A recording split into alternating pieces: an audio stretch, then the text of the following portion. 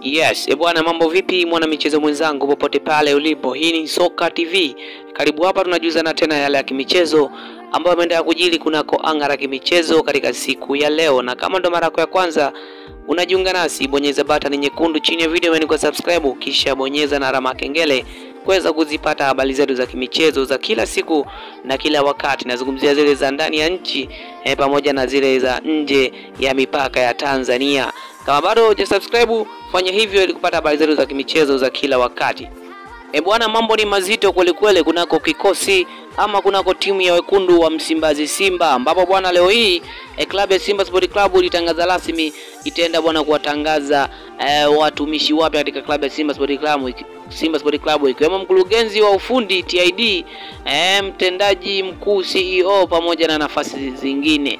Sasa katika nafasi ya mtendaji mkuu anazungumzia CEO. Klabu ya Simba Sport Club umeweza kushangaza umati wa watu wengi ambao walikuwa wanasubiria kwa mzaidi kubwa, ambapo wanaweza kutangaza kuanzia majira ya saa saba watamtangaza mtendaji mpya wa klabu ya Simba Sport Club, na sasa Simba Sport Club umefanikisha bwana kumrudisha. Anazungumzia Haji Manara, Haji Sande Manara e, baada ya kutoka katika klabu ya Yanga kama vile msemaji wa Yanga na kubakia kama mtu baki wa kawaida. Sasa Simba Sport Club wameweza kumchukua eh, na kumrudisha katika kikosi cha Simba Sport Club na hatimaye sasa yeye ndo amekuwa CEO wa Simba. Nazungumzia mtendaji mkuu wa klabu ya Simba Sport Club kuchukua nafasi ya Barba Gonzalez. Nafahamu kwamba Barba alikuwa ndo mtendaji mkuu na yeye ndo alikuwa chanzo cha yeye e, na yeye ndo alikuwa chanzo cha kuondoka kwa msemaji huyu e, wa zamani wa Simba pamoja na Yanga. Nazungumzia Haji Manara, yeye ndo anaweza kusababisha mambo yote chokochoko za hapa na pale, ikiwemo usingiziana mambo fulani E, mwisho wa siku Haji Manara akaondoka katika klabu ya Simba na kukimbilia Yanga. Sasa leo hii